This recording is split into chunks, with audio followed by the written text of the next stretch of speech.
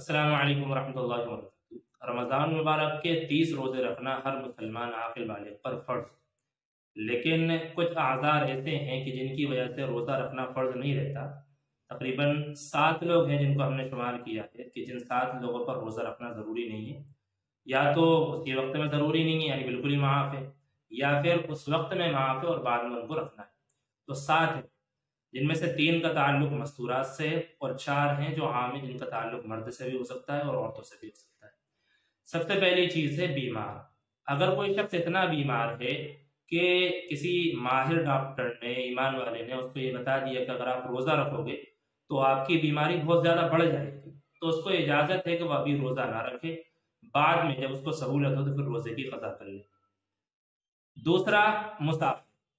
अगर कोई शख्स सफ़र कर रहा है और सफ़र से मुराद सफ़र शरई, यानी अगर सवा सतहत्तर किलोमीटर का कोई बंदा सफ़र कर रहा है और उसकी शुरुआत उसके सफ़र में ही वो शहरी का वक्त आ रहा है, याद रखें, उस शहरी का वक्त उसके सफ़र में ही आ रहा है, या शुरुआत वो शहरी के वक्त में कर रहा है तो ऐसी सूरत में उससे उस वक्त का रोजा माफ़, मुसाफिर से।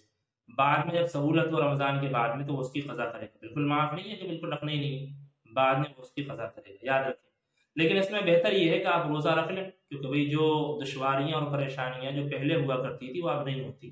कई मरतबा तो इंसान जो इतने सुकून से सफ़र करता है कि ऐसी वगैरह सब कुछ ही होता है।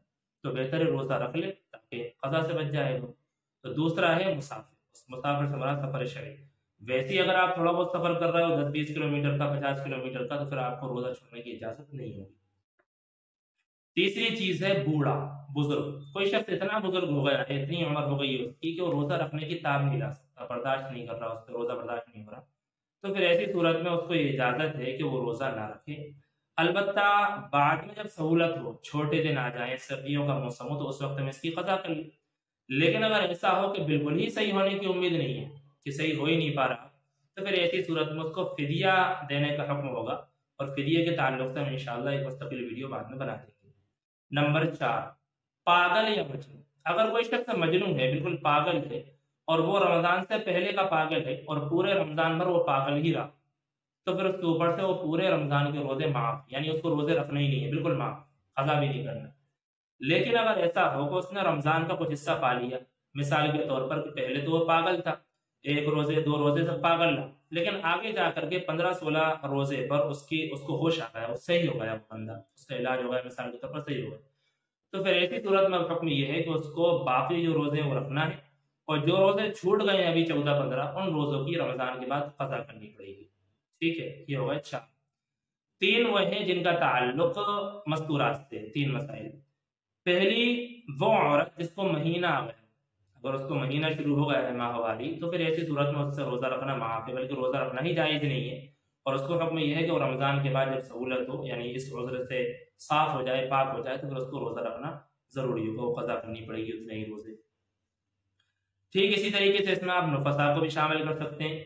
कोई औरत उसके यहाँ विलादत हुई है तो विलादत के बाद चूँकि खून आता है तो उस खून की वजह से भी उसके ऊपर रोज़ा रखना ज़रूरी नहीं है। बाद में जब वो सहूलत से जब वो रोज़े रख सकेगी रमज़ान के बाद तो फिर उसकी फसा कर नंबर छ दूध पिलाने वाली अगर दूध पिलाने वाली औरत को रोज़ा रखने की वजह से तकलीफ़ हो सकती है, तकलीफ़ का मतलब दूध में परेशानी आ सकती है कि आप बच्चे को दूध ना पिला पाए। किसी डॉक्टर ने बता दिया या आपका खुद का तजर्बा हो कि अगर मैं रोज़ा रख लूँगी तो उसकी वजह से हो सकता है कि मैं बच्चे को दूध ना पिला पाऊँ, दूध ना आ पाए, दूध सूख जाएगा। तो फिर ऐसी सूरत में उसको इजाज़त है कि वो अभी रोज़े ना रखे और बाद में रमज़ान के बाद जो है उसकी कदर कर ले। और नंबर सात, हामिला औरत यानी जो अभी पेट से हो और किसी डॉक्टर ने या उसी के जो खास सलाहकार हैं, डॉक्टर डॉक्टर ने उसको बता दिया कि रोज़े रखने में आपके हमल पर परेशानी आ सकती है, कोई तकलीफ़ आ सकती है तो फिर उस वक्त में उसको इजाज़त है कि वो रोज़ा भी छोड़ दे और बाद में रमज़ान के बाद जब उसको सहूलत हो तो उसकी फसा कर ले। बाकी इन सात के अलावा जो काम कारोबार वाले हैं, साहब, मेहनत करने वाले उनको रोज़ा छोड़ने की इजाज़त नहीं है, उनको रोज़ा रखना पड़ेगा।